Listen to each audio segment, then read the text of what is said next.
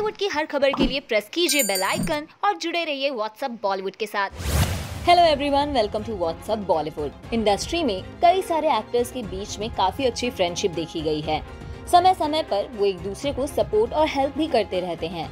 लेकिन अब मौनी रॉय के बारे में एक ऐसी खबर आ रही है, जिसे सुनने के बाद आप भी हैरान हो जाएँगे। मौनी रॉय का असली चेहरा एक एक्टर ने रिवील कर दिया है, और ये एक्टर कोई और नहीं, बल्कि अमित टंडन है। अमित टंडन ने मौनी को बुरी तरह से एक्सपोज किया है।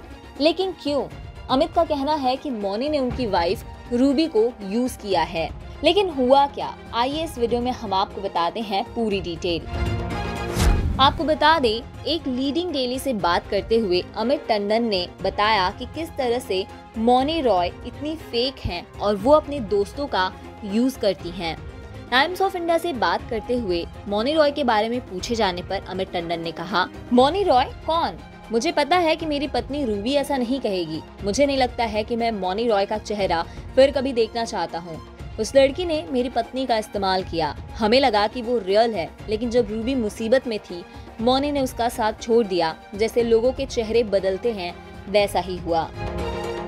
इतना ही नहीं, उन्होंने ये भी कहा कि कैसे उन्होंने मौनी के बारे में पहले तो कुछ और ही सोचा था और मौनी निकली कुछ और ही। इस पर बात करते हुए अमित टंडन ने कहा, हम मौनी रॉय का एक नया चेहरा देख रहे हैं। ये वो मौनी रॉय नहीं है, जिसे हम जानते थे। हमने उसे एक अच्छा इंसान माना था। उसने रूबी की आत्मा को चोट पहुंचाई है। मिस रॉय, आपने रूबी को तब छोड़ दिया जब वो कुछ भी नहीं थी। आज वो पहले से बड़ी हो गई है। रूबी सबके लिए बहुत कुछ करती है।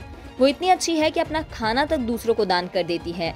मोनी रॉय को हम कभी माफ़ नहीं करेंगे। मैंने रूबी से कहा है कि अगर वो कभी भी अपनी लाइफ में मोनी रॉय के पास जाती है तो मैं उसके आसपास नहीं रहूँगा। मैं तो फिर गया। आपको बता दें, एक्टर अमित टंडन ने रूबी नाम के एक डर्माटोलॉजिस्ट से 2007 में शादी की थी। दोनों की एक बेटी जियाना भी है, लेकिन वो दोनों 2017 में एक दूसरे से अलग हो गए। वहीं 2019 में वापस ये कपल एक साथ आ गया। 2017 में रूबी 10 महीने दुबई के अल रफा जेल में बंद थी।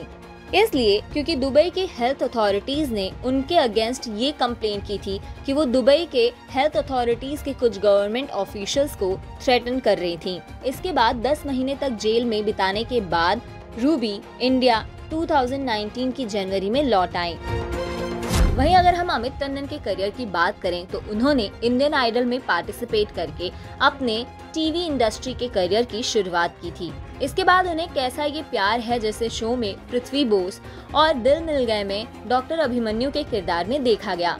इतना ही नहीं, अमित को ये है मोहब्बतें में सुब्रमण्यम चंद्रन के किरदार में भी फैंस ने पसंद किया। वही कसम तेरे प्यार की में उन्हें अभिषेक खुराना के किरदार से जाना गया। इसके अलावा भी उन्होंने कई सारे रियलिटी शोज़ में पार्टिसिपेट किया है जैसे कि जो जीता वही सुपरस्टार एंड जरा नच के दिखा। वेल well, मॉनी रॉय के बारे में जो कुछ भी अमित टंडन ने एक्सपोज किया है इस पर आप क्या सोचते हैं? कमेंट्स में हमें ज़रूर बताइए और ऐसे ही अपडेट्स के लिए देखते रहिए व्हाट्सअप बॉलीवुड